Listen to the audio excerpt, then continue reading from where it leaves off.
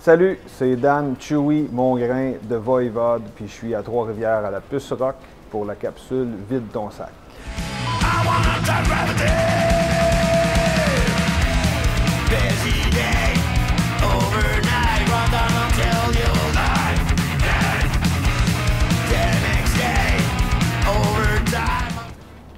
Premier album, un album que je connais pas.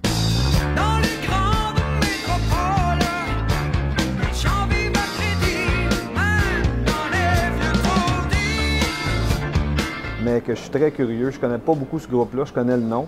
On me l'a recommandé maintes et maintes fois. Ça fait partie des groupes qui ont été un peu dans l'oubli depuis euh, trop longtemps. Puis de ce temps-là, je les redécouvre. La musique progressive, des bandes comme Morse Code, Dionysos, euh, Slush, Octobre. Donc, euh, c'est de la bonne musique progressive. la musique, on pourrait dire, euh, expérimentale, progressive, euh, qui sort de l'ordinaire, puis qui est euh, tout droit de l'époque des, années progressives, donc les années 70, où la musique n'était pas formatée pour la radio, puis il y a des tunes qui pouvaient durer des trentaines de minutes, puis qui jouaient quand même à la radio. Donc, à découvrir.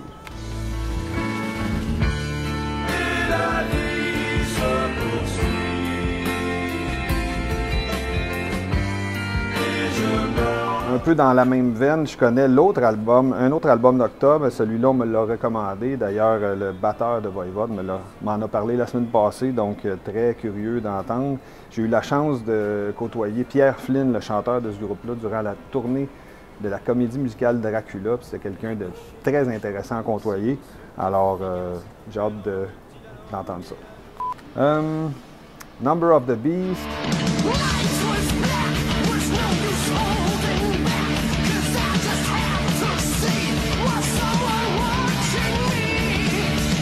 Si je ne m'abuse, le premier album avec Bruce Dickinson à, à Auchan, dans Iron Maiden, c'est un album euh, qui a pas mal changé euh, la donne dans le métal. C'est rare qu'on voit un groupe avoir beaucoup, beaucoup de succès après un changement de frontman. Euh, Bruce Dickinson a relevé le défi haut la main, puis c'est un des groupes qui m'a le plus impressionné live. C'est un groupe qui bouge énormément sur la scène. Ils jouent parfaitement, ils sont très intenses. Et puis euh, Bruce Dickinson est quelqu'un d'assez inspirant. Il a écrit des romans, il pilote des avions, il est conférencier. Euh, c'est un chanteur et un frontman exceptionnel, donc toujours une inspiration. Puis cet album-là, ben, il est bon d'un bout à l'autre.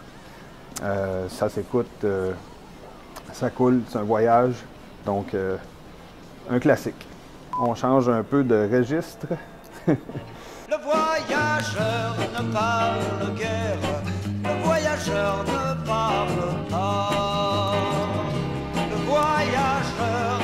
Gilles Vigneault, je connais pas du tout la discographie ou très peu de Gilles Vigneault, mais c'est un des spectacles qui m'a le plus chamboulé de mon existence.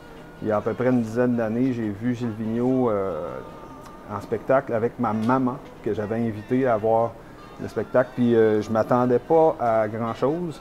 Grand poète, puis euh, la performance, euh, la justesse, puis c'est très inspirant de le voir sur scène. Euh, J'ai été chanceux de, le voir.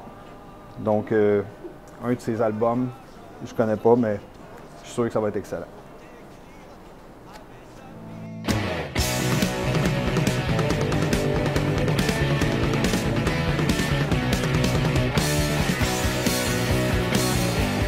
Classique de Rush 2112, je pense que c'est sorti l'année de ma naissance, ça.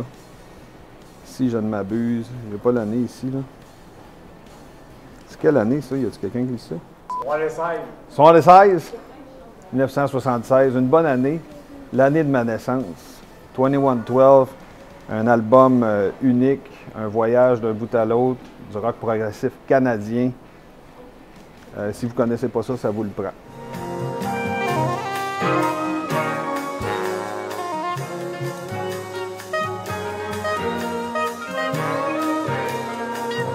Avec. Pour les amateurs de jazz et de basse et de trucs qui sortent de l'ordinaire, euh, Word of Mouth de Jaco Pastorius. Je connais beaucoup plus l'album Jaco Pastorius, l'album éponyme. Euh, puis Carl Mayotte, un de mes amis de Québec, un excellent musicien, compositeur de jazz et bassiste, m'a recommandé d'écouter un peu plus profondément cet album-là. Donc, Word of Mouth, il n'y a personne qui joue comme Jaco Pastorius et qui écrit et qui arrange comme lui. Euh, c'est un talent exceptionnel avec une histoire tragique, un album à découvrir. Un autre classique, Miles Davis, Kind of Blue.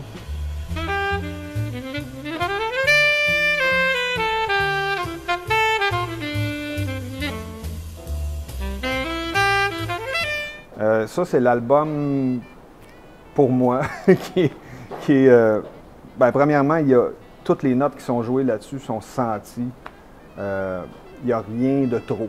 Euh, c'est comme la musicalité pure, euh, l'improvisation, le jazz.